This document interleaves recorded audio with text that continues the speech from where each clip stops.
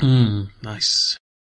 The brothers of Zeus, Poseidon, aka Neptune, and Hades, aka Pluto.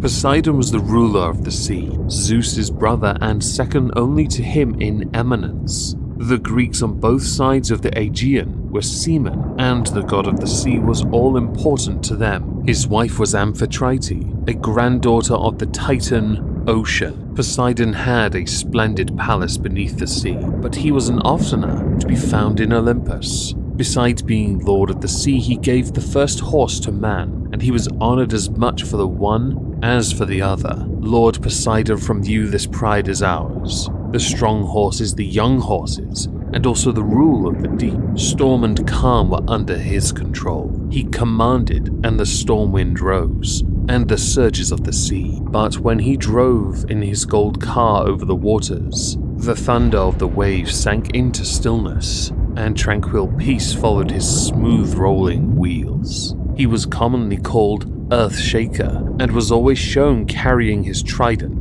a three pronged spear with which he would shake and shatter whatever he pleased. He had some connection with bulls as well as with horses, but the bull was connected with many other gods too.